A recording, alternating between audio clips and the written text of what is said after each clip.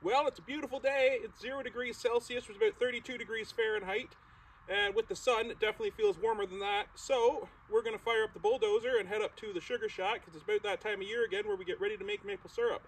So I guess I better go clear out around the shack and get things set up. So we'll see if the old dozer will start and go from there.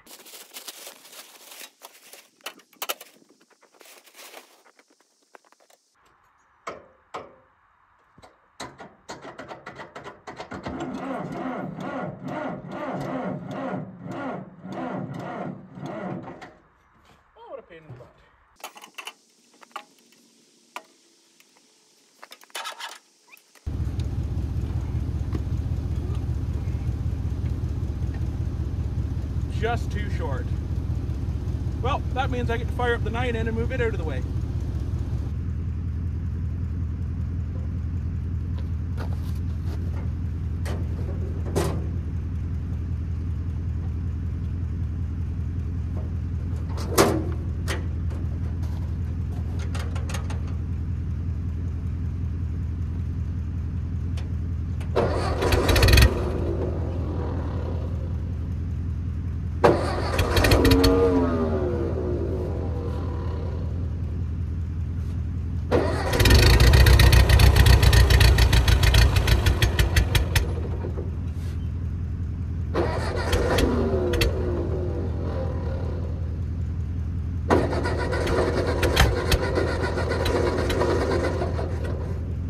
Man, it started better on that cold day.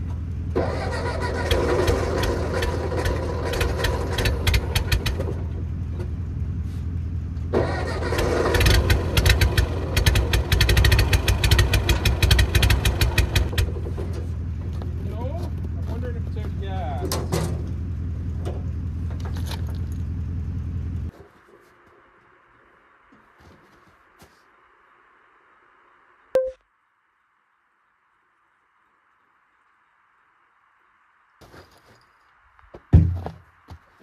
All right, take two.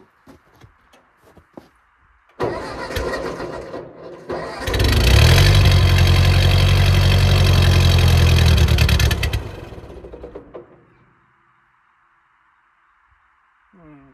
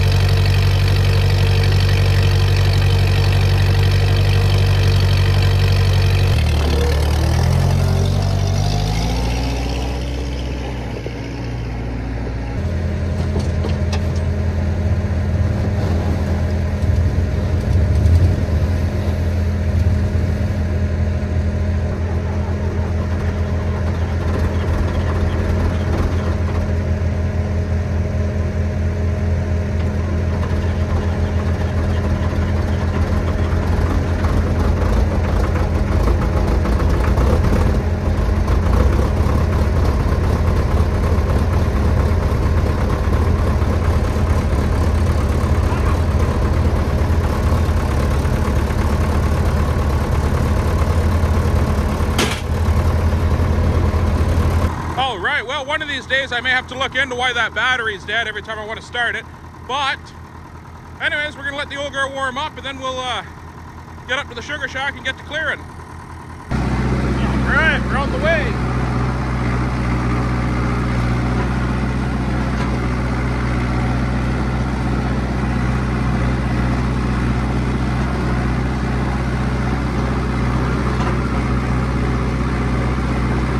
And